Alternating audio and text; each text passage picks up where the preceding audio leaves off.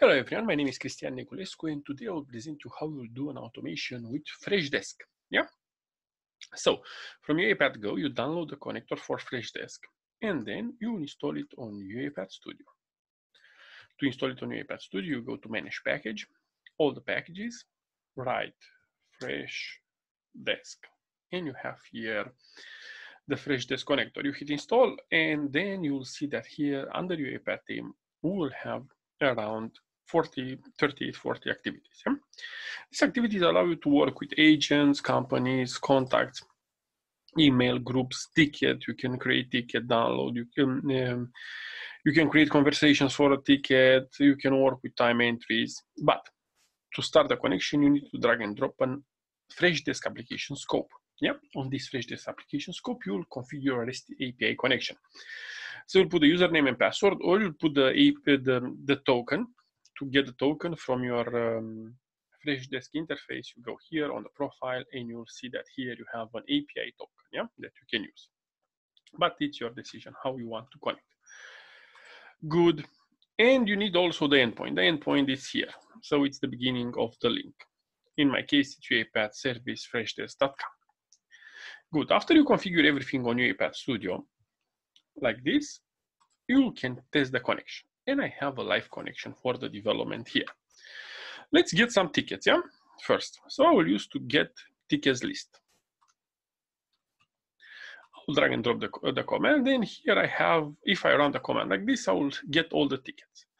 And I can configure, I can say that I want what I want. I want the subject of the ticket. I want, the, here it's a double click. I want the source of the ticket. Let's see.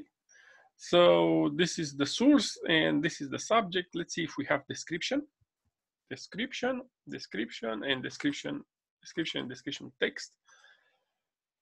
Uh, let's see what else uh, we will have on, uh, on this ticket. Yeah. So I have status, um, type, priority, and so on.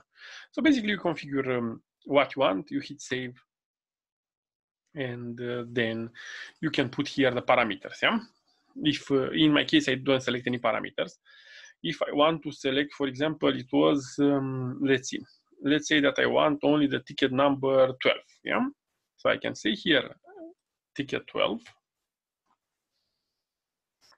and he will return only the ticket 12. And if I hit save, here I will provide him, I can provide him a variable for this parameter. Okay, well, I also can order, so let's remove this one and let's say that I want to order by status, yeah? So everything will be ordered by status, yeah? Then I can order descendant if I want. I want to see only the tickets, let's remove the order, and I want to see only the tickets that are in spam. I don't have tickets that are in, in spam. Or deleted tickets. Uh, new and open and so on. I can sort from the email. I can do a lot of stuff, but that's the idea. You can configure here all the filters that you want. You can search on the filters like this.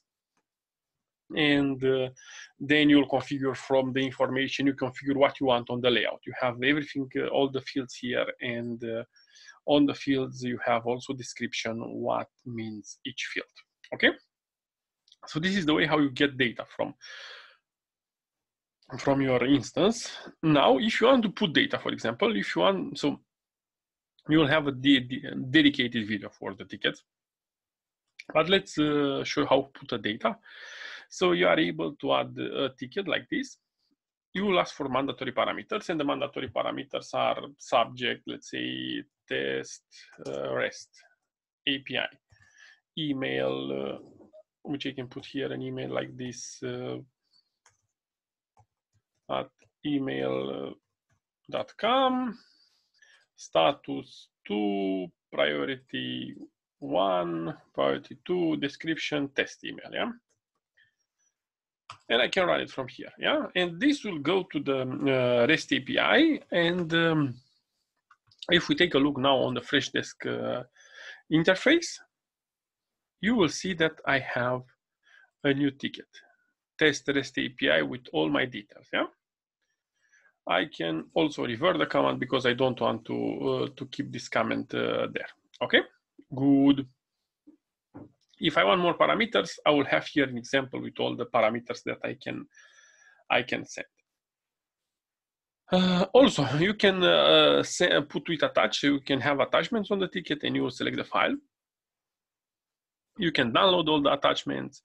Uh, if you have complex um, uh, commands, you can find the JSON on the internet, put the JSON here and do what you want with uh, your endpoints from, uh, um, from your um, Freshdesk. So that's the idea. You are able to control everything from, from Freshdesk um, via REST API, very easy from UiPath Studio.